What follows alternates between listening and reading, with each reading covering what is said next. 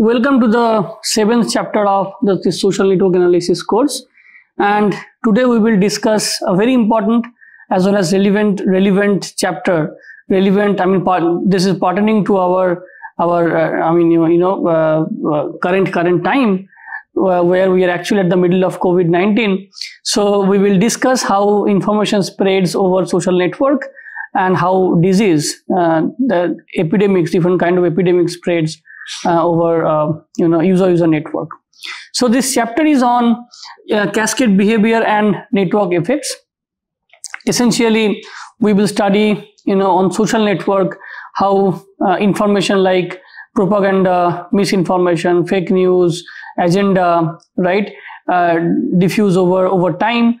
We'll discuss how users adapt a particular particular say product or particular agenda particular behavior over time? And how uh, you know uh, i mean what's the effect of um, social network in general?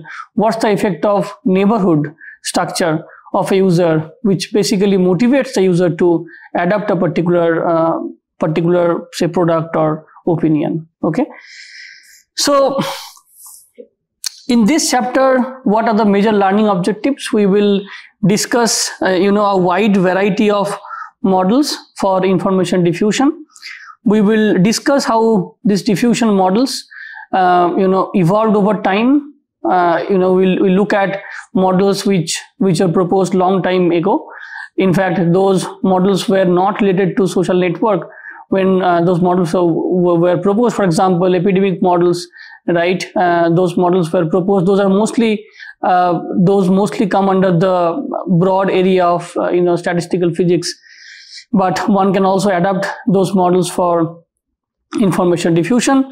We will also understand the uh, you know the advantages and limitations of different uh, models, and we will try to think how we can you know how we can design our own diffusion model right which can overcome some of the limitations so diffusion is basically a kind of a movement of anything right? It can be a movement of an opinion it can be a movement of uh, a, a, pro a, propaganda for example or a movement of fake news right?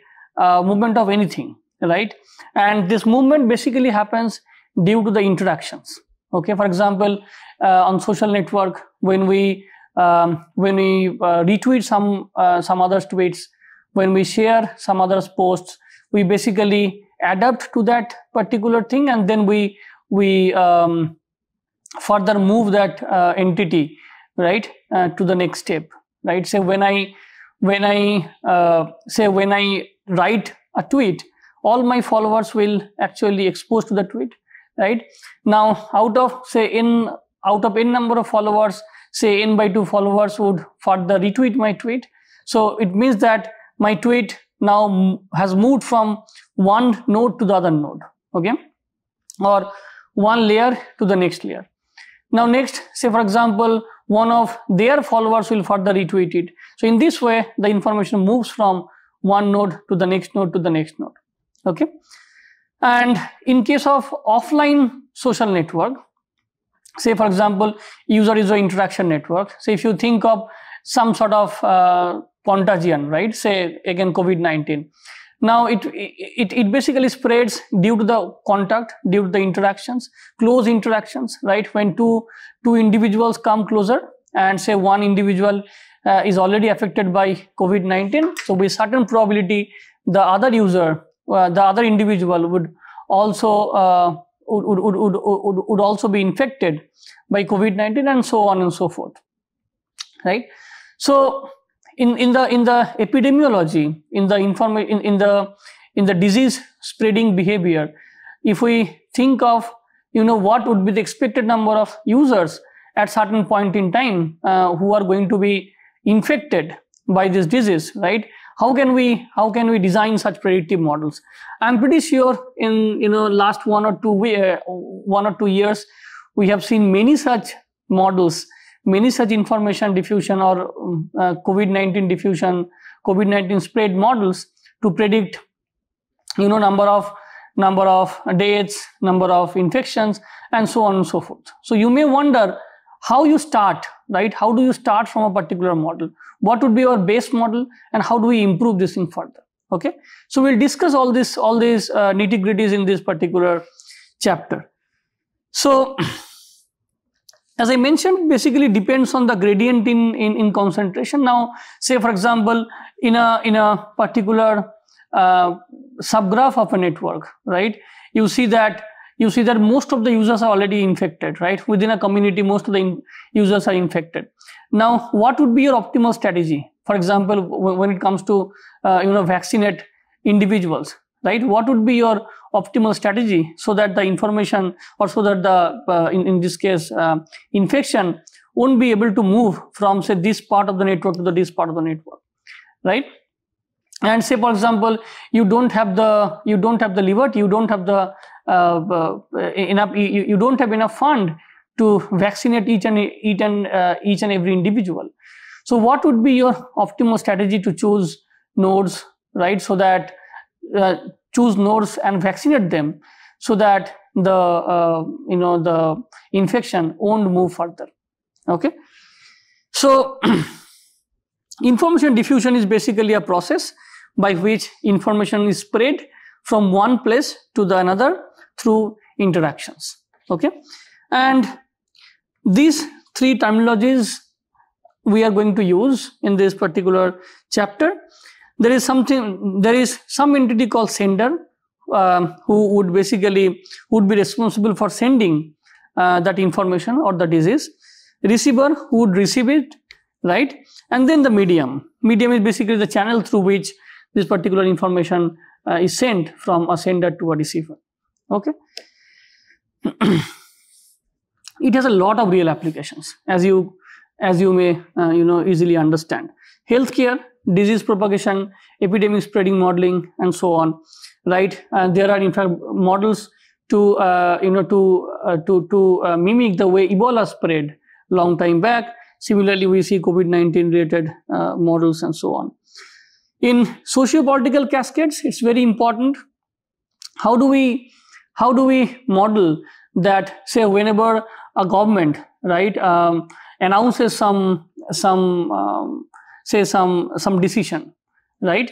How this decision will be perceived by individuals, whether how people will react to that particular decision, whether they would support, they would oppose, they would further move this thing, move the decision from one node to another node and so on. In fact, there are also studies which basically showed that during this political movement, how uh, recruitment happens. Say, for example, you want to you want to you know run a particular political movement, right?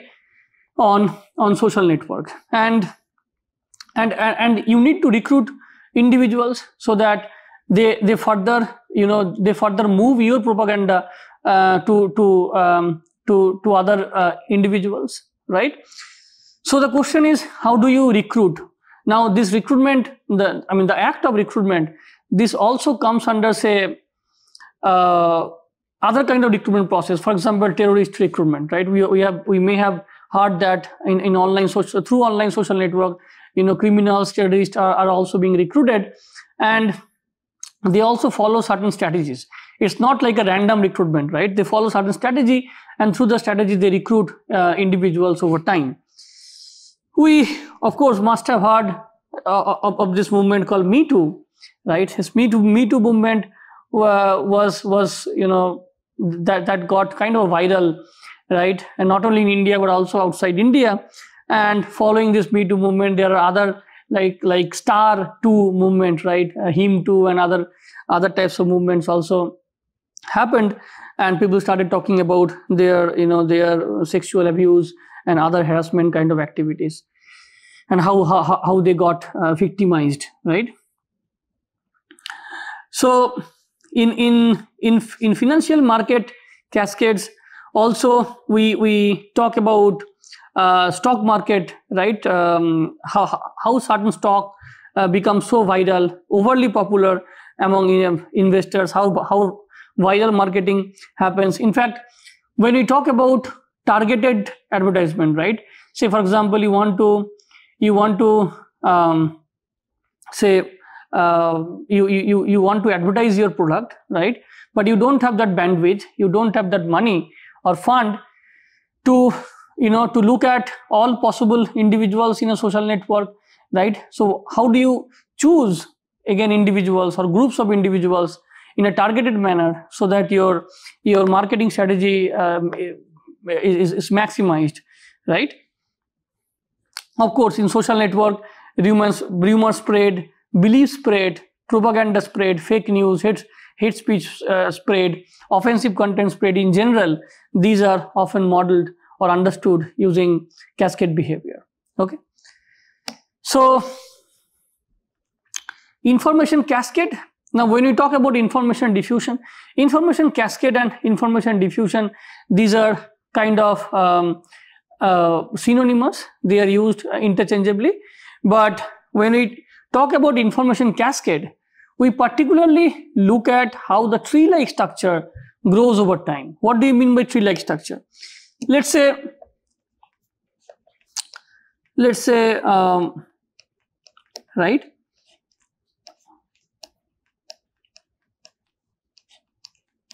let's say this is A and A is followed by B, C, D, B is followed by E or F and G, H, right? And say A has retweeted something, right? So among B, C, D, who say, say let's assume that B and C have retweeted A's tweet, right? Then say from C, uh, F and H further retweeted, right? So if you look at only the nodes and edges which have got affected, right? So you will see that it basically follows a tree-like structure. So this is the source node, then, right? Okay. Now from this Twitter network, you can create a tree-like structure like this.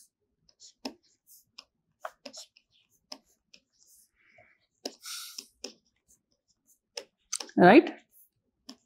Now this is called information cascade. So generally information cascade is, is modeled through a tree, right? But you can also look at, I mean, if you do not want to model it as a tree, as a tree, you just look at the individual branches, right? For example, this branch is of size uh, length 1, this branch is of size is, is of length 2, this branch is of length 2 and so on and so forth. So your target would be to um, you know uh, to predict the the uh, structure of this tree. Meaning that you can you can basically predict the the depth of a tree the breadth of a tree uh, and and you know individual branches and so on and so forth. So if you if you can predict the tree right then you are done. Okay? So this is actually about information cascade. Right?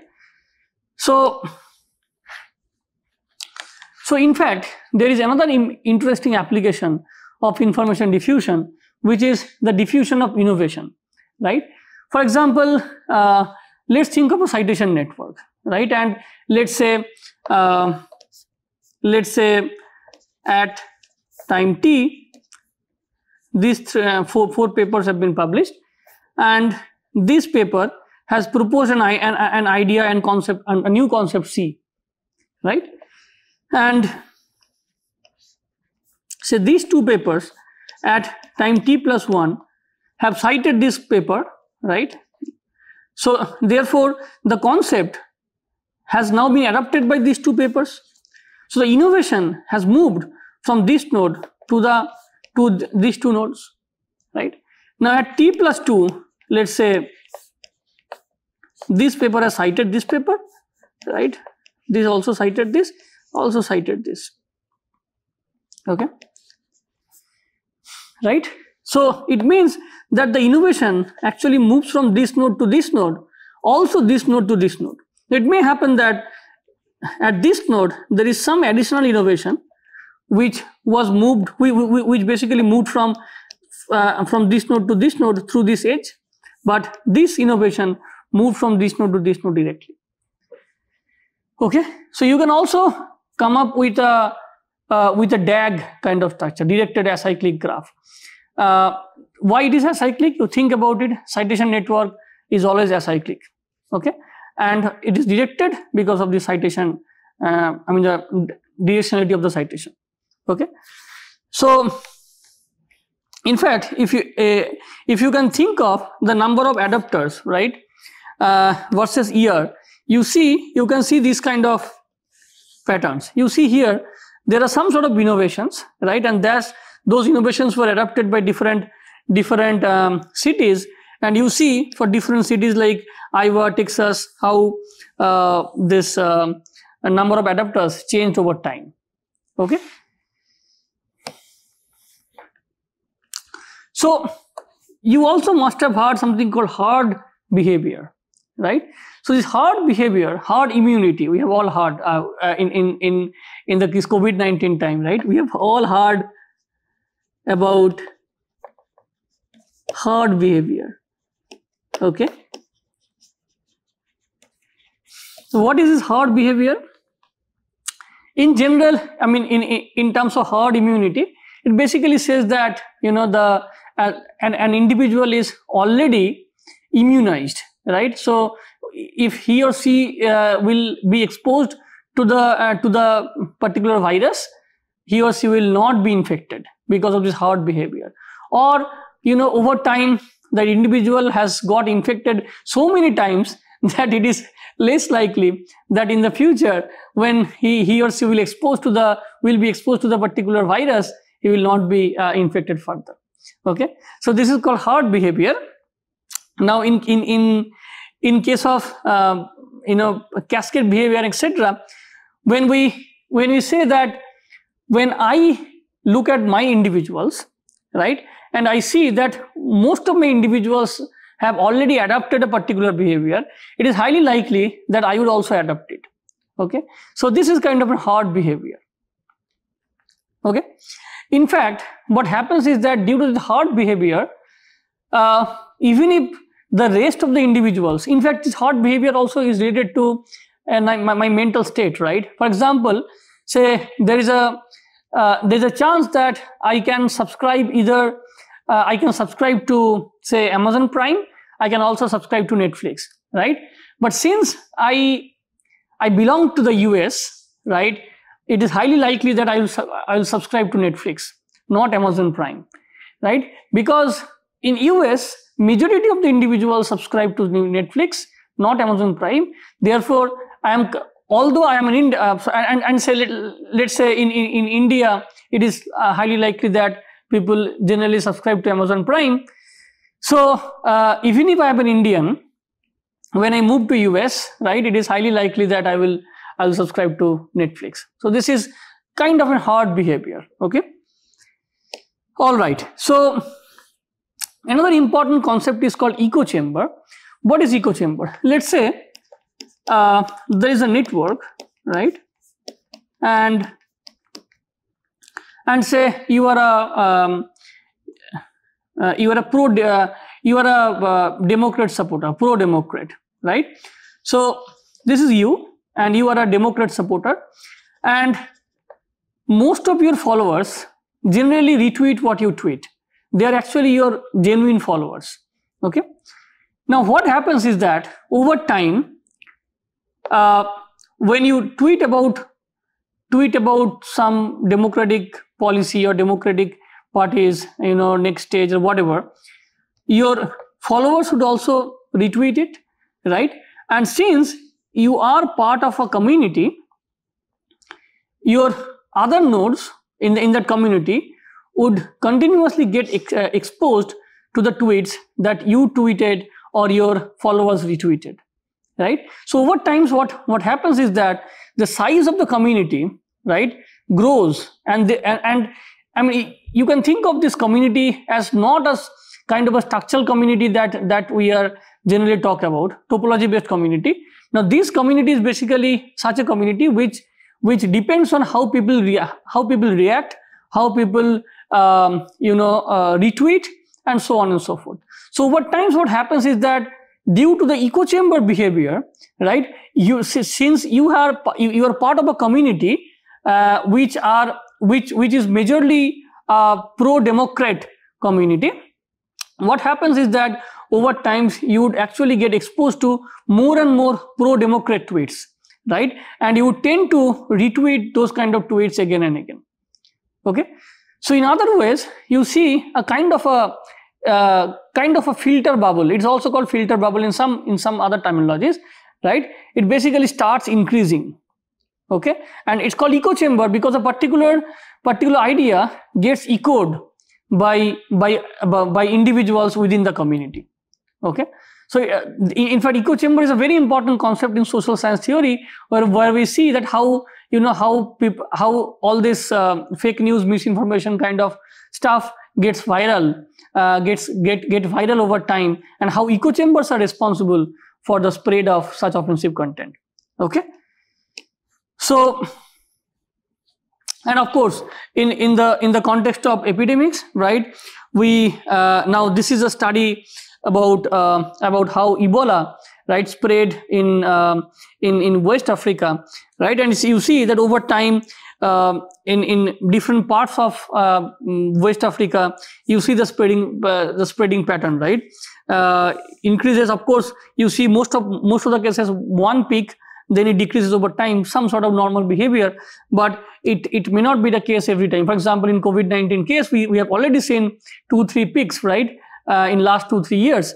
So uh, it, it depends on the uh, the um, the the pattern of the, the virus right? It also depends on on, on government strategy. For example lockdown um, say uh, uh, arrangement of vaccines and so on and so forth.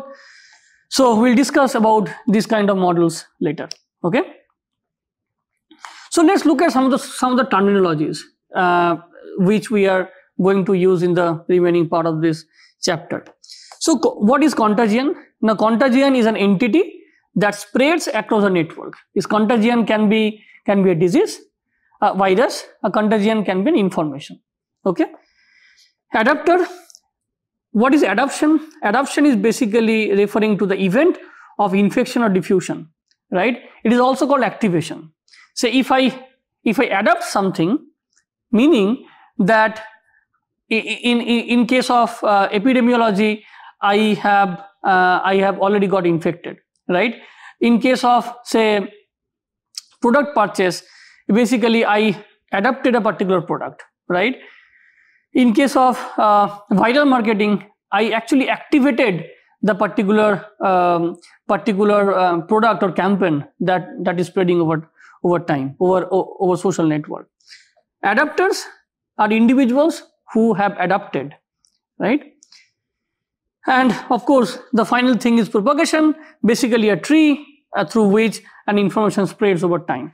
You see here, say this is the uh, this is the sender right or initiator and uh, this is at time t at time t plus 1 both the followers right uh, uh, have have have adopted that particular ideology you see here the direction is in the opposite direction of the follower following now since these two individuals follow this guy so this is the follower link right but this link indicates the spread. So the spread happens in the opposite direction of follower, follower relationship, right? So, and now in C, you see this got, this individual has got accept, uh, affected, then this one, and so on. Now at, so, and, and then you see that, you know, things got stabilized. So from this network, you can create this kind of uh, cascade cascade tree or whatever, DAG, right, kind of structure. So we stop here. In the next lecture, we will talk about uh, different types of information diffusion models. Thank you.